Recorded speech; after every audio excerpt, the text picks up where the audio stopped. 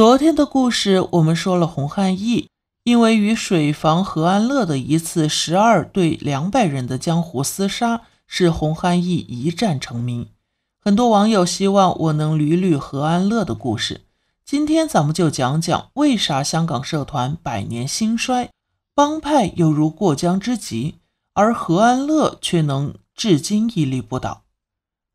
洪汉义译文中已经说过了，何安乐之所以叫水房或者汽水房，是因为社团里的成员大多数都是安乐汽水厂的工人，因此而得名。当然了，也不是整个安乐汽水厂的工人都是社团成员，肯定只是那不服管的一小波。同时，在和盛和的译文中已经介绍过“和”字的由来。并且和合图内部都是各个工厂的工人阶级共同联盟组成的互助会，而和安乐就是互助会中的一个。一九零九年，经过和合图的分裂，衍生出了很多独立的帮派，和安乐也是其中的一堂。但是由于体量太小，虽然独立，但是勉强也就是一个具有社团性质的小团体。想要发展，不找个大腿抱住，根本生存不下去。于是，和安乐的创始人大眼胜就满香港的学模，最后决定抱紧和盛和这条大腿，隶属于和盛和旗下堂口。如果和安乐一直如此，后来也不会出了那么多的猛人，小不拉几的早就玩完了。而和安乐之所以能够崛起，有个人就不得不说了。他就是江湖人称“白面书生”的温贵。大家知道，一半江湖绰号都是根据此人性格特点而来的，名字可能会出现偏差，但是外号一定不会。温贵并不是香港本土人，也是因为战乱偷渡到香港的众多人之一。在内地时，温贵是一名世俗里面的教书先生。初到香港，温贵很快就摸清了形势。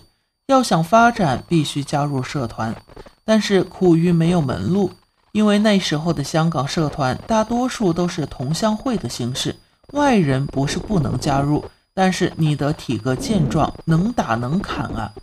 这温贵是一个手无缚鸡之力的教书先生，哪个帮会愿意收留？直到一九二一年，温贵才好不容易加入了小不拉几的何安乐，初入社团。那肯定就是个底层的马仔，也就是跑跑腿、打打杂这些零碎细活。如果是一般的粗人，也不会觉得怎么样，反正就是混口饭吃。但我们前文已经说了，温贵这个人可不是一个粗人啊。熟读诗书的他，有着强烈的企图心，就是在等一个机会。那时候，因为社团之间非常混乱，为了利益不停的厮杀，所以机会每天都会有。那为什么又要说等呢？因为作为马仔的温贵想要迅速上位，必须要把机会利益最大化。一次，何安乐的坐馆大眼胜跟另一个小不拉几的社团和盛堂，和盛堂是和盛堂，和盛和是和盛和，千万不要混淆了。休战的时候，双方约好在大观酒楼一起坐下来聊聊地盘划分的问题。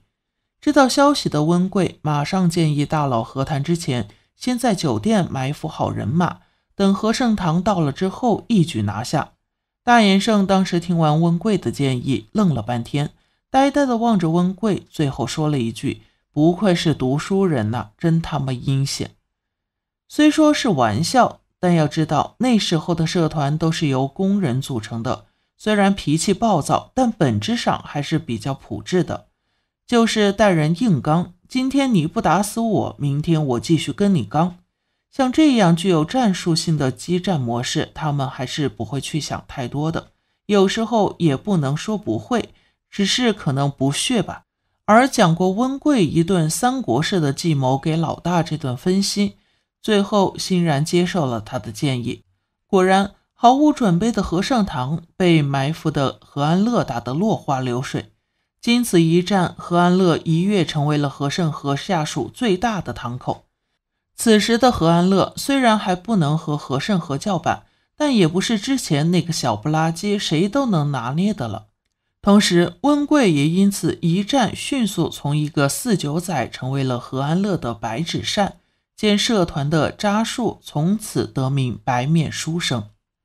给大家简单普及一下社团知识哈，四九仔就是社团中的普通成员，也就是我们看电影中的那些小弟。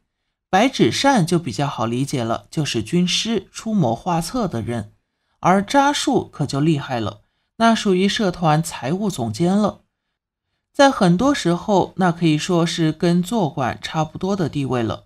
就算坐馆要用钱，也得财务总监批。当上财务总监的温贵终于有机会一展抱负了，他把社团内不挣钱和利润低的生意停的停，换的换。重新梳理了企业的财务架构以及投资方向，而改革的第一步一定要从内部实施，所以他先来了个会员制，帮派内部在册会员每人每月交六毛钱，按现在换算的话，差不多相当于一百块钱吧。收上会员费后，他把之前停掉的卖掉的现金又在油麻地租了个写字楼，用这笔钱来放高利贷。你看看这经营模式，就算放到现在，是不是也不落伍啊？何安乐至此财源广进，日进斗金，用放贷的钱继续扩充人马，然后再收会费，再放贷。你看这个经营模式有没有种似曾眼熟的感觉呢？眼熟就对了。你没有发现温贵的这个模式跟现在很多互联网企业的经营模式差不多吗？短短三年时间，温贵就把和安乐打造成一个和盛和下面的超级堂口，规模扩大了十倍。一九三零年，和盛和正式脱离和合图，独立成为一帮人之后，温贵一看内心也躁动了起来，野心膨胀，岂甘于久居人下？经过他的苦心谋划，良性循环的会费放贷模式，终于在四年后的一九三四年。何安乐脱离和盛和，自成一派。脱离和盛和后的何安乐，在温贵一系列的改革梳理下，帮会效率大大提升，资金越发的雄厚，成员直线上升。至此，何安乐再也不是那个小不拉几的社团组织了，而是一个真正可以跟和盛和、和和图分庭抗礼、掰手腕的帮会了。一九四一年二战期间。香港被日本人侵占三年零八个月，而何安乐也受到了不小的影响。直到后来的神仙锦的出现，才再一次带领着何安乐掀起了港岛的又一轮社团争霸。好了，以上是本期的内容。如果您喜欢我们的节目，欢迎订阅、点赞、转发，感谢大家的支持。